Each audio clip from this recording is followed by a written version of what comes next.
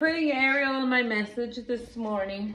She's my pit collie. She's a sweetheart.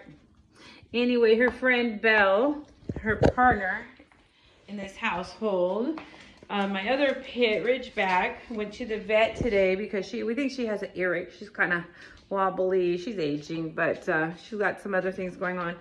But we noticed there's some things going on with the inner ear.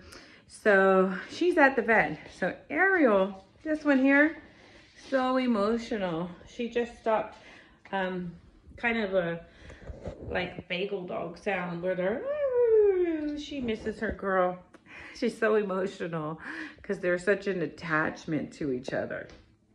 And so Ariel's getting very emotional. So I was telling her a minute ago, you are so emotional. You need to take that emotion and put it in motion, girl.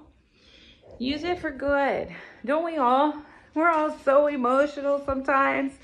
We're just thinking things. We're just um doing, you know, in our head, curious about things.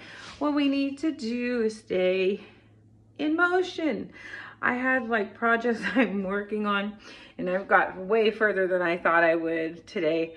Um, and um, and I just were like, wow, like sometimes I'll just like, like the Lady D.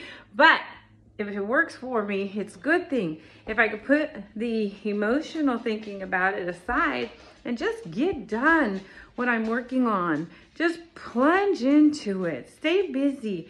And I'm far past where I thought I would be at this point with this project. So I just wanted to share with you and Ariel became my little um, mess to message maker this morning. Um, just reminding me about emotions. To stay in motion, keep in motion. Emotions are good, but let's keep in motion when with our emotions.